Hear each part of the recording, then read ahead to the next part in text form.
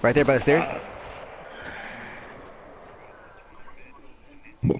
Pull it, pull it, pull it, pull it, pull it. Go! Oh, oh. go! She just sniped the shit out yo. I with the to cook yo.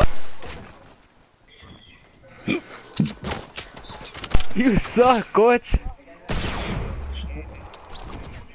Alright, I'm gonna hop off. I might be back